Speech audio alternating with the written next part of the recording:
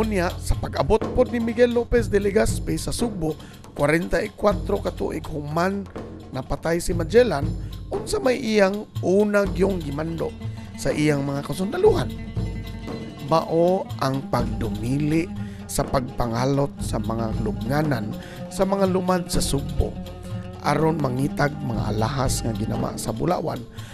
Sa nakita na nato dili lamang ang ipon adunay bulawan sa mga Subuanon common gyud makita ang mga lumad nga taga Kabisayan nga magsulob og bulawan bahandi o alahas.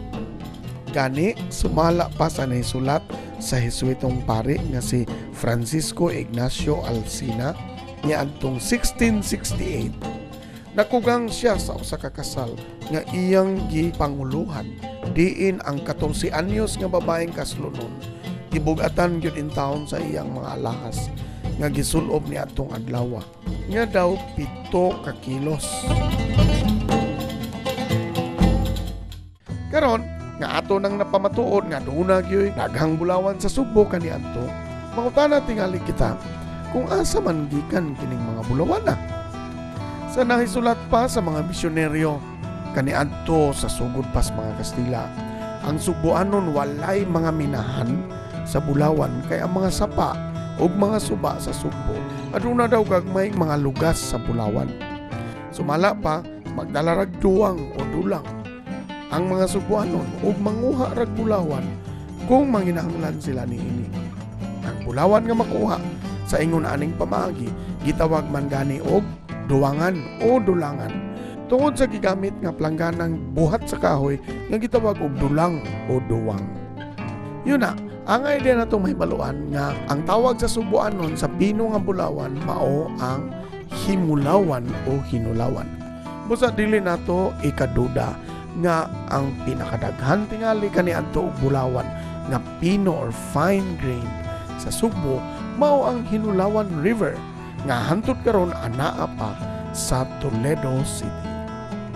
Dili usab kini ikaduda tungod kay daghan kaayong copper nga gimina sa Toledo sukad 1950s pa ug sa atong nahibaluan kung adunay copper naausab gagmayng porsyentong bulawan niini. Usa pa ka importanteng pangutana mao kung binuhat ba sa Subuanon o mga Bisaya kining mga bulawang alahas nga nakalutan dinhi sa Sugbo. Ang duda sa mga archaeologists o mga art historians nga binuhat ra gyud kini o mga mugna o disenyo nga mga alahas dinhi ra usab sa Kabisayan, sa Sugbo o sa Mindanao.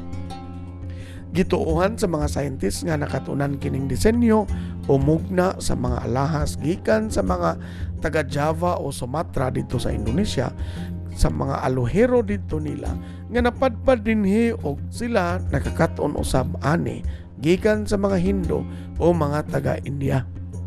Dako ang posibilidad nga tinuod kini tungod kay ang atong silabare kanang gitawag og baybayin. Sumala pa sa mga nagtuon niini klaro kaayo nga gikan kini sa Sanskrit nga sinulatan. Busa, dili ikatingala nga nung dunay nakaplagan nga mga Dios-Dios sa mga Hindo dito sa Mactan nga gama sa bronze nga nakalutan kuno sa Mactan ni adtong 1843 or 1843 nga gitawag og Ginoong Ganesh usa ka elepante. Naapod na ang Golden Tara nga nakaplagan sa butuan human sa dakong baha dito niadtong 1917 ang replika niini naa sa Museo Sugbo batang original naa pa karon sa Field Museum sa Chicago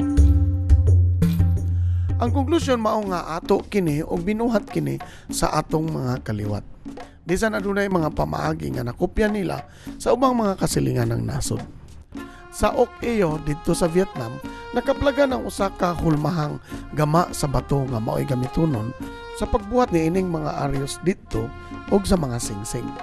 Siguro ingon na ani usab dinhi ang gigamit apan lahi ra ang design. Higala, niabot na kita sa katapusang yugto sa atong programa nga naguluhan kabilin.